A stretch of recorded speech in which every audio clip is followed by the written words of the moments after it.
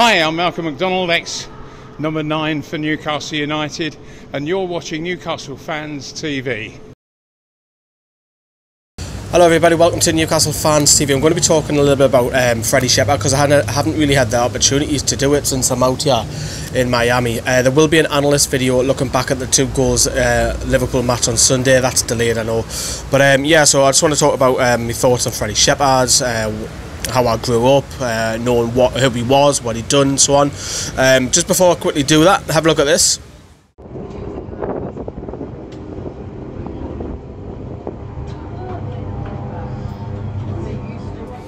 So if you want to see more of that, obviously um, with alligators, and that's on my second channel, Newcastle Fans TV spin-off as well.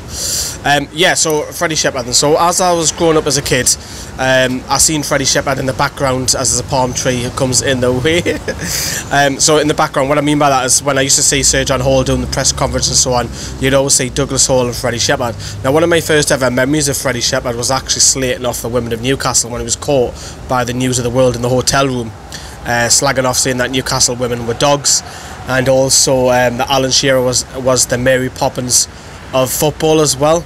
Um, so that was my first memory of him. I know it's quite funny looking back now, but you know, you, you did do a lot of good things for Newcastle. You tried you really hard to um, help Newcastle as a city build on that as well. Just a couple of things. Obviously, he was partially, not all of it, partially uh, because of that magnificent stadium that we've got now at St James's Park without him and his money and other people's money to be fair we wouldn't have this magnificent stadium which now hosts you know you're looking at the rugby league you're looking at sometimes England play when they didn't weren't at Wembley. So you've got that and then you've brought like the likes of Les Ferdinand Faustino Asprilla David Ginola you know you've got you brought Alan Shearer home all these players that he was a part of not as I mentioned not fully himself but he was part of that um, you brought Michael Owen home at the time that was a, we were all excited about that. I know he went on to have a poor career at Newcastle, but at that very time we were all very excited. He broke the transfer record for Newcastle, doing a lot of things off the pitch as well. Him and his family.